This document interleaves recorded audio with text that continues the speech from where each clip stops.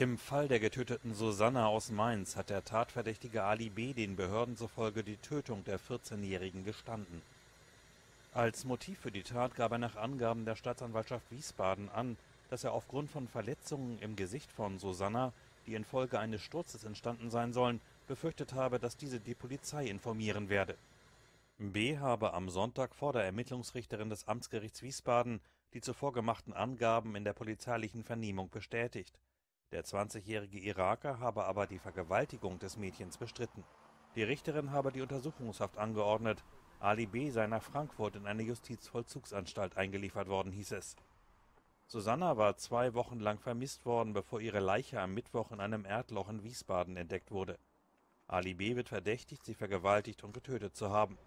Er lebte in einem Wiesbadener Flüchtlingsheim.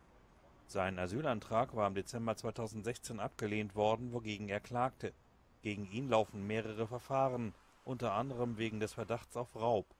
Bevor er zur Fahndung ausgeschrieben wurde, war er mit seiner Familie aus Deutschland ausgereist. Im Nordirak war er am Freitag auf Bitten Deutschlands festgenommen und am Samstag nach Deutschland gebracht worden. Der Fall hatte eine neue Debatte über die Beschleunigung von Asylverfahren ausgelöst